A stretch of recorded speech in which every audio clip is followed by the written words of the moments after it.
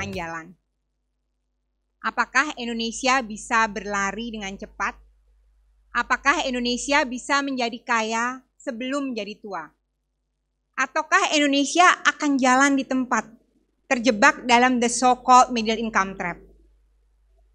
Mana jalan yang akan memberikan kita lebih dekat pada tujuan bersama, yaitu Indonesia aman, makmur, sentosa, adil bagi semua. Tidak mudah untuk memilih jalan. Tantangan pembangunan di Indonesia sangat kompleks. Urbanisasi, disrupsi teknologi, kemungkinan krisis ekonomi global, dan sebagainya. Tidak mungkin memakai resep yang dianggap jitu 10 tahun atau 20 tahun yang lalu. Asumsi dan konteksnya bisa jadi sudah beda tidak mungkin hanya sekedar mengatasi simptom dengan kebijakan bak paracetamol yang hanya menurunkan panas tetapi tidak menuntaskan akar permasalahan. Kondisi politik perumusan kebijakan juga semakin kompleks. Perbedaan kepentingan menyebabkan getting to yes is so complicated. Seringkali ada banyak hal yang dirasa hampir-hampir mustahil untuk mendapatkan kesepakatan apa yang harus dilakukan. Ini, kompleksitas ini menuntut perumusan kebijakan berbasis bukti. Kita butuh informasi yang memberikan informasi tentang apa sebenarnya akar permasalahannya. Apa saja pilihan yang bisa diambil, mana manfaat masing-masing pilihan, mana yang paling sedikit mudorotnya. Bagaimana caranya selalu melakukan evaluasi agar kebijakannya bisa terus diperbaiki? Artinya hanya satu, Indonesia butuh data yang mencerdaskan bangsa. Pekerjaan saya dalam keseharian adalah peneliti, lebih tentang peneliti kemiskinan, labor, dan sebagainya. Tanpa data, saya tak ubahnya hanya seperti dukun yang tidak bisa dipercaya keabsahannya. Data memang mencerdaskan bangsa, tetapi ada prasyaratnya. Data yang tepat. Indonesia sebenarnya kaya dengan berbagai macam data. Kita punya berbagai macam survei. Teman-teman peneliti saya dari luar negeri iri dengan banyaknya data yang dimiliki Indonesia. Ada data survei penduduk, ada data survei rumah tangga, ada sensus penduduk, sensus ekonomi, sensus uh, pertanian, ada data sensus desa, dan sebagainya. Ditambah lagi dengan lebih dari 200 sekian juta SIM card dan Indonesia adalah republik sosial media dengan banyaknya jam yang kita habiskan di sosial media, ada banyak data tentang kita di sosial media. Ditambah lagi dengan data yang dikumpulkan platform dari transaksi, dari interaksi. Namun sayangnya data yang kaya itu belum dijadikan cara untuk mencerdaskan bangsa. Analisa kualitas kebijakan sangat bergantung dari kualitas data. Ada empat faktor yang mempengaruhi kualitas data. Pertama adalah relevansinya. Data yang dibutuhkan berbeda untuk tujuan yang berbeda. Misalnya untuk analisa kemiskinan. Data yang digunakan untuk menghitung berapa persen orang yang ada di bawah garis kemiskinan berbeda dengan data yang digunakan untuk menentukan siapa yang sebaiknya mendapatkan program-program kemiskinan by name dan by address. Data yang digunakan untuk diagnostik beda dengan data yang digunakan untuk evaluasi. Data untuk meneliti kenapa misalnya harga beras naik dan apa dampaknya terhadap kemiskinan berbeda dengan data yang mengevaluasi bagaimana kinerja program Raskin misalnya.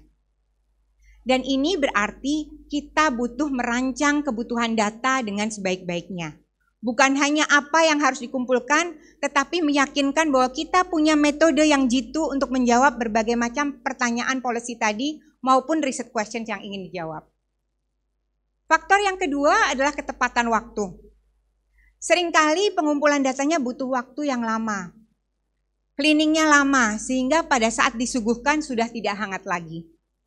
Untuk ini kita butuh memadukan data-data tradisional dari survei tersebut dengan berbagai macam data, big data, ataupun real time data yang di capture. Misalnya contohnya, untuk analisa kemiskinan, pembuatan peta kemiskinan, kita bisa memadukan misalnya dengan luminasi cahaya dari satelit yang bisa digunakan untuk melihat pocket-pocket poverty sebenarnya adanya di mana. Kita bisa juga menggunakan misalnya data dari Google Map dan Google Street untuk menambah akurasi pada saat targeting karena kita bisa melihat jenis atapnya seperti apa. Kita bisa juga menggunakan sosial media media dan media tracking untuk melihat sentimen masyarakat terhadap berbagai macam program kemiskinan. Intinya kita butuh pandai-pandai mengawinkan data. Faktor yang ketiga adalah reliabilitas sampai sejauh mana data bisa dipercaya. Dan ini sangat tergantung dari jumlah sampel yang dikumpulkan dan juga sampling frameworknya. Kalau jumlah sampelnya cuma sedikit, sampling frameworknya nggak jelas, generalisasinya juga bisa dipertanyakan. Faktor yang keempat adalah faktor yang paling penting, akses data. Data hanya berguna kalau digunakan sedih pada saat melihat disertasi tesis skripsi mahasiswa yang menggunakan data yang itu-itu saja karena akses ke data yang lebih pas nggak ada karena data mahal karena ada barrier untuk mendapatkan data. Sedih pada saat melihat data kita yang begitu kaya lebih banyak dimanfaatkan oleh peneliti-peneliti luar negeri untuk menembus jurnal-jurnal ternama karena lagi-lagi tadi datanya terlalu mahal. Nggak mungkin semua universitas punya punya secara lengkap, apalagi lembaga think tank di daerah. Dengan data menjadi new currency, dominasi platform bisa menimbulkan apa yang disebut dengan winner takes all fenomena atau barriers to entry. Kita tentu saja senang Indonesia punya empat unicorn. Tetapi kita butuh iklim yang menumbuhkan semua. Masalah-masalah di Indonesia begitu pelik yang membutuhkan data dan butuh lebih banyak anak bangsa yang turut berpartisipasi untuk menyelesaikannya, bukan hanya segelintir yang kebetulan bekerja di perusahaan raksasa. Nah, akses data saja tidak cukup. Data butuh digunakan untuk masalah yang tepat data yang digeneralisasi di Indonesia harusnya bisa dimanfaatkan sebaik-baiknya untuk Indonesia. Kak, potensi data masih jauh dari optimal jika big data yang ada hanya digunakan untuk mendorong konsumen untuk mau membeli produk atau mau menggunakan servis yang ditawarkan. Bukan berarti mendorong konsumsi tidak penting. Ini penting, akan mendorong pertumbuhan ekonomi. Tetapi penggunaan data butuh lebih dari itu ada banyak masalah pelik bangsa, ketimpangan, tingkat produktivitas yang rendah, kita ingin meningkatkan angka partisipasi pemuda dalam pekerjaan, kita ingin mengatasi berbagai macam problem seperti stunting dan sebagainya. Dan ini butuh data yang digunakan untuk mengatasi masalah-masalah tadi. Data yang tepat dengan masalah yang tepat tidak cukup butuh digunakan pengguna data dengan keterampilan yang tepat. Keterampilan seperti apa yang dibutuhkan? Bukan hanya yang dibutuhkan adalah keterampilan end-to-end, bukan hanya keterampilan kelas dewa seperti deep learning, tetapi juga critical thinking, digital literasi. Tentu saja kita butuh lebih banyak anak Indonesia yang bisa berakrobat dengan data setiap tahunnya ada tambahan satu juta sarjana baru. Namun sayangnya komposisi lulusan yang ada saat ini belum menjawab kebutuhan masa depan. Bukan hanya Indonesia, dunia butuh lebih banyak mathematician, statistician, data scientist, data analis, econometrician yang bisa menjadikan data bisa bercerita, yang bisa menjadikan data bisa menawarkan solusi yang jitu. Tetapi ini bukan berarti semua orang disuruh menjadi data scientist. Digital literasi tidak kalah pentingnya. Apa itu digital literasi? Kalau kita melihat definisi dari Wikipedia, digital literasi adalah kemampuan untuk menemukan, mengevaluasi, menggunakan dan membuat informasi. Jadi di sini bukan hanya sekedar menggunakan platform ataupun aplikasi, tetapi yang tidak kalah pentingnya adalah memilah. Memilah mana informasi yang merupakan sampah, mana yang bisa memberikan berkah. Sehingga tidak gampang tenggelam di dalam lautan informasi yang diberikan Google dan YouTube tanpa pegangan. Dan untuk itu critical thinking sangat penting. Pada saat melakukan analisa, runtutan logikanya tidak lompat. Pada saat melakukan analisa, tahu bisa membedakan mana yang disebut dengan falasi atau logika bengkok. Bagaimana caranya agar keterampilan tadi bisa dimiliki oleh banyak anak bangsa? Fokusnya pendekatannya harus komprehensif. Bukan hanya memperhatikan tentang perlunya meningkatkan kualitas dari universitas, tetapi juga early childhood development, PAUD dan TK. Bukan hanya fokus pada formal education, tapi juga non-formal education. Bukan hanya fokus pada anak-anak muda yang sekarang sedang duduk di bangku kuliah atau bangku sekolah, tetapi juga memberikan kesempatan kedua pada orang-orang yang tidak muda lagi seperti saya. Nah, kenapa TK penting? TK penting karena tujuh tahun pertama adalah golden years. Studi dari James Heckman, pemenang hadiah Nobel Ekonomi menunjukkan bahwa return to education satu tahun di TK lebih tinggi daripada return satu, eh, to education satu tahun di universitas. Ada banyak data dari negara-negara lain yang menunjukkan hal yang sama. Di Jamaika misalnya, anak yang lulus dulunya sempat mengenyam TK, padahal pendidikan akhirnya sama, bisa punya keuntungan pertumbuhan uh, tingkat penghasilannya 25% lebih tinggi. TK penting. Tentu saja universitas juga penting. Universitas penting karena di universitas kita bisa menimba berbagai macam hal yang terkait dengan hal yang dibutuhkan dengan digital ekonomi. Kognitif, kemampuan problem solving, dan sebagainya. Bukan hanya itu, kita juga bisa memupuk kemampuan sosial ekonomi, kemampuan kerjasama, kemampuan untuk menyelesaikan persoalan bersama, kemampuan berekspresi, komunikasi. Universitas juga tempat inkubator untuk inovasi. Sukses Silicon Valley, Bangalore tidak terlepas dari universitas-universitas di sekitarnya. Yang diperlukan di Indonesia adalah bagaimana universitas-universitas Indonesia bisa sigap dan luas merespon tuntutan zaman. Birokrasinya butuh dipangkas. Tapi kalau cuman TK dan universitas saja nggak cukup.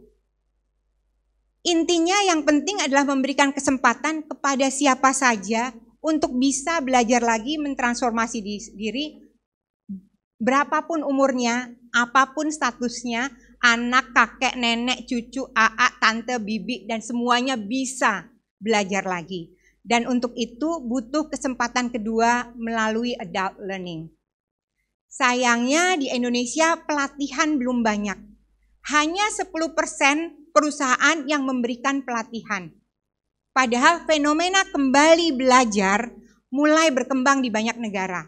Di Rumania misalnya, dua per tiga dari mahasiswa universitas swasta adalah orang-orang yang tidak muda lagi yang belajar paruh waktu ataupun melalui distance learning.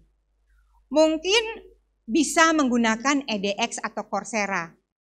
Tapi ada kendala bahasa dan bisa jadi lokal kontennya tidak sesuai dengan apa kebutuhan kita saat ini. Karena itu apa yang dilakukan Ikra dengan bootcampnya, dengan corporate training, dengan online trainingnya bisa menjadi salah satu solusi untuk memberikan kesempatan kedua kepada siapa pun yang ingin belajar lagi.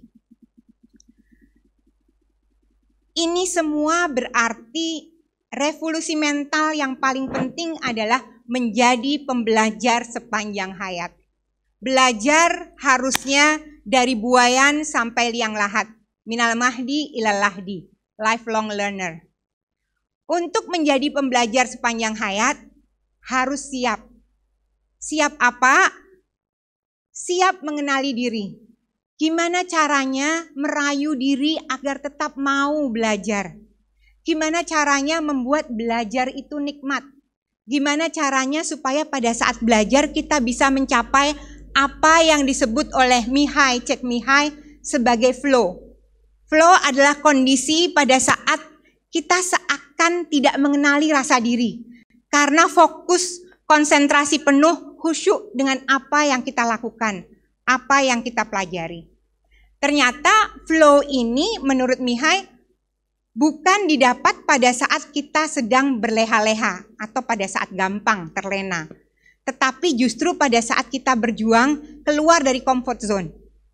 Flow ini juga lebih sering didapat pada saat kita yakin manfaat apa yang kita lakukan dengan kita belajar tadi bukan hanya untuk diri sendiri, tetapi juga punya manfaat untuk yang lain.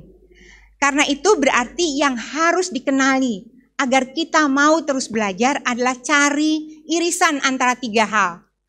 Apa yang menyalakan semangat di dada, apa yang kita punya bakat banyak di situ yang sehingga belajar kita bisa, apa yang memberikan tujuan berwarna. Mudah-mudahan dengan mengenali irisan ini, kita tidak akan enggan, enggan untuk menjadi pembelajar sepanjang masa. Kesiapan yang kedua adalah membekali diri, bukan hanya dengan technical skill, tetapi juga dengan socio-emotional skill. Data dari EDX menunjukkan yang ngambil kuliahnya banyak. Yang menyelesaikan tuntas tas-tas cuma 5%. Artinya di sini diperlukan kemampuan untuk terus berjuang. Mudah untuk menyerah itu mudah. Yang susah itu adalah kemauan untuk menganggap tantangan sebagai cara untuk naik kelas. Yang susah itu kemauan untuk telaten, mencoba me, meng, merintah, berbagai macam yang halangan yang ada dicoba diatasi. Carol Dweck menekankan bahwa sukses dalam belajar dan dalam pekerjaan sangat terkait dengan apa yang disebut dengan growth mindset falsafah dari growth mindset itu adalah kita percaya bahwa semua orang bisa pintar. Otak itu seperti otot. Semakin dilatih, semakin kuat. Sekarang belum bisa di planning, belum. Nantinya bisa, asalkan dilatih dengan lebih seksama. Angela Duckworth menekankan bahwa korelasinya sangat tinggi antara apa yang disebut dengan grit dengan sukses dalam belajar. Grit itu adalah ketelatenan tadi untuk tetap terus berjuang. Konsep grit itu bukan konsep yang baru di Indonesia. Bahasa Jawanya getu, bahasa Arabnya istiqomah. Kita butuh itu. Nah, sekarang ini di zaman era informasi sebenarnya banyak sekali kesempatan. Mau belajar apa saja ada. Modal yang diperlukan adalah tek tekun, telaten, teliti. Mari bersama menjadi pembelajar sepanjang hayat. Wassalamualaikum warahmatullahi wabarakatuh.